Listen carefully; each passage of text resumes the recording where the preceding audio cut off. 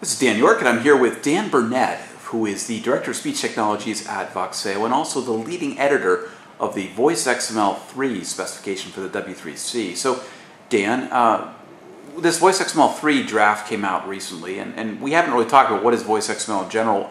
What does Voice XML mean for a, for a user?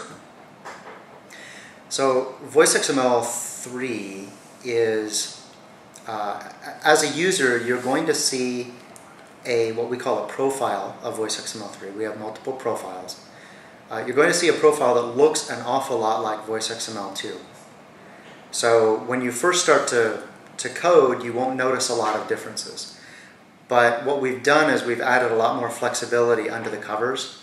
So it's possible to do many other things uh, that you could not do in Voice XML2. But you won't have to right from the beginning. You'll be able to code very similarly to the way you do today. So then, what's the so why? I mean, uh, if, if Voice XML2 does everything, I mean, what's the big deal about Voice XML3? Well, there are a number of things that, that people have complained about with respect to Voice XML2. One of the biggest ones is the form interpretation algorithm. What does this, that mean? that's the algorithm that determines where you go next within a form or when you transition from one form to another. So if you have four fields of information you're collecting in a form, uh, let's say where you're flying from, where you're flying to, the date, and so on.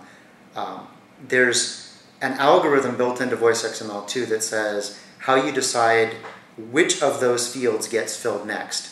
And that is the form interpretation algorithm. Ah, okay. So it's wonderful if what you want to do is a form in precisely that structure and that follows that algorithm. Okay. But if you actually want a different flow of control, you want things to, to move in a different way in your application, the form inter interpretation algorithm can actually get in your way.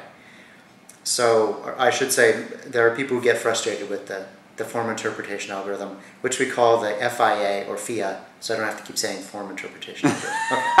So okay. the the FIA, the uh, FIA still exists in Voice XML 3, but it will it will exist as a controller. It will be a transition controller that is author overridable.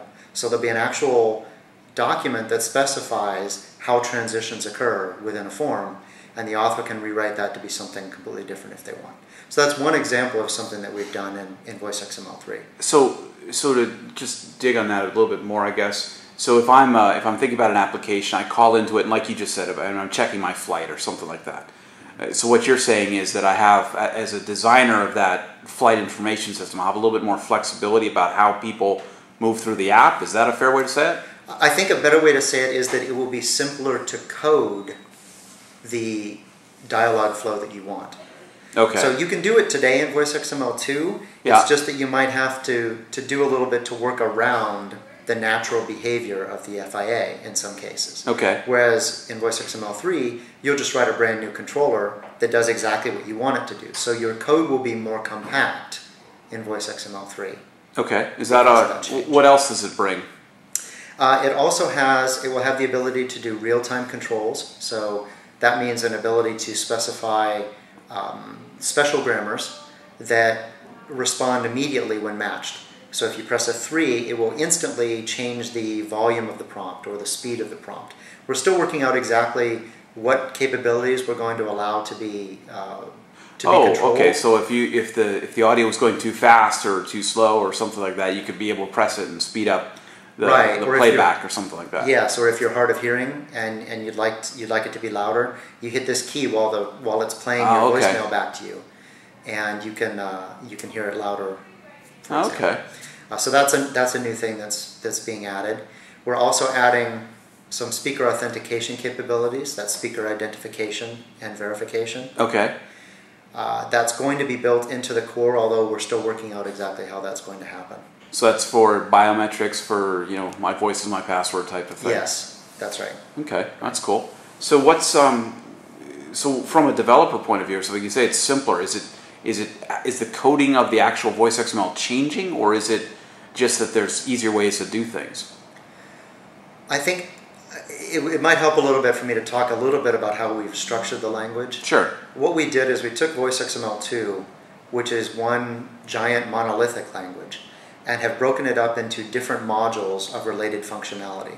So there is a grammar module, and there is a prompt module, and there is a play and recognize module. Okay. And a profile is a collection of these modules put together, maybe with some syntactic sugar or convenience syntax to make it simpler to program. So what that means is that your your legacy profile, what we're calling it, the legacy profile, which is like VoiceXML 2.1, will have syntax that looks like VoiceXML 2.1, but that is layered on top of core syntax for each of these different modules. So you will have more flexibility in what you can do. Hmm. It's not all hard coded with only the VoiceXML2 syntax. So if, for example, we're, we're adding um, the par and seq elements from SMIL, the synchronized uh, multimedia, multimedia integration language, I think it is. Um, anyway, uh, that specification allows you to uh, have media streams that go in parallel and to synchronize them. We've pulled the parallel and sequential elements from that, so you can say, I would like to do, play these three prompts at the same time, or I would like to play this prompt and do a recognition and a verification. So why would I want to play prompts at the same time? You might want to have uh, background music going on Ah. at the same time as something else you're playing, Okay. just as an example. Okay. Uh, it, it gives you a little bit more control over exactly what happens when. Okay. Uh, and that's that's something that will exist even in this voice XML2 like profile, which we call the legacy profile.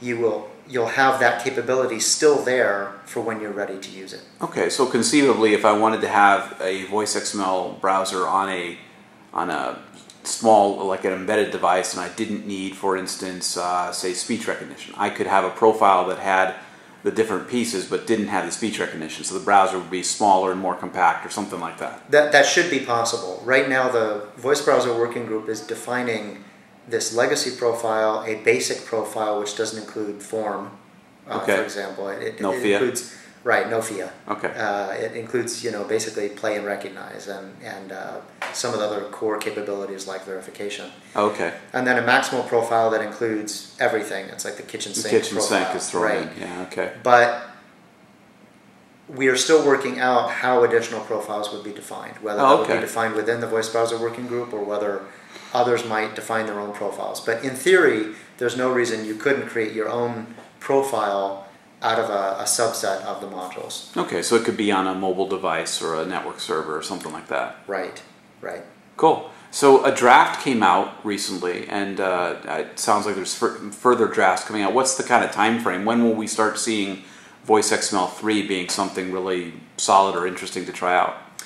Uh, We're thinking that the major functionality pieces will all be into the specification sometime between the first and second quarters of next year.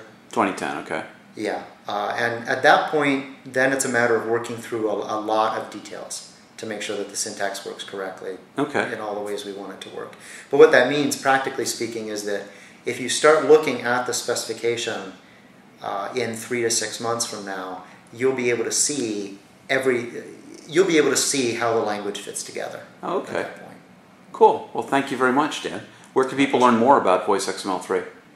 Uh, you can go to the W3C's website, www.w3.org. And uh, actually, they just changed the website, so um, I'm actually not sure what the proper link, you know, the Yeah. how to get through it by linking. But uh, the easiest way is www.w3.org slash voice. Okay. If you go to that link, you'll get to the Voice Browser Working Group, and we have links to all of the specifications there, including Voice XML3. Great. Well, thanks, Dan. I've been talking to Dan Burnett, who is the Director of Speech Technologies at Voxeo and the leading editor on the Voice XML3 specification for the World Wide Web Consortium. Thank you. Thank you.